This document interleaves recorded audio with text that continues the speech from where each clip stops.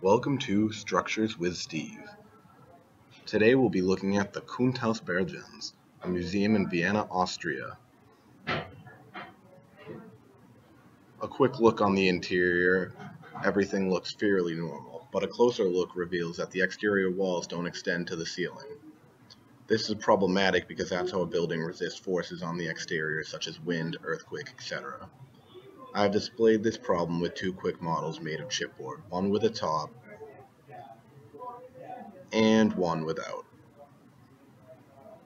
When tested, we notice that the one with the top is very rigid. Even when pushed on, it does not deform. The other, however, even with little force, warps quite a bit, and we even notice the corner starts to crack. To see the solution, we will look at the plan for the museum.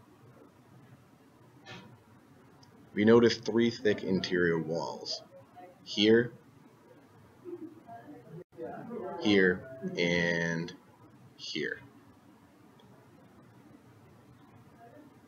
I have imitated this in my model by cutting slots here, here, and here. Now when I push on it, it is just as rigid as the one with the top. But why?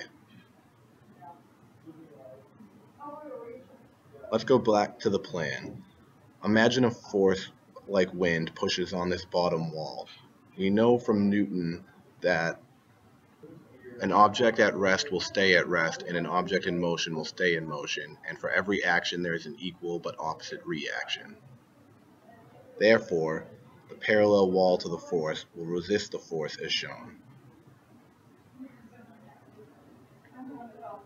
However, there is an inherent problem. The resistance is uneven, and that will make the building want to rotate, as shown. The two other walls will resist this by forming a coupling moment. A coupling moment is two parallel walls acting on a surface in opposite directions to resist rotational movement. This creates a force equal but opposite to the rotational force in the floor plate. So the final force diagram would look like this, with the parallel wall resisting the force directly and a moment reaction stopping any torque.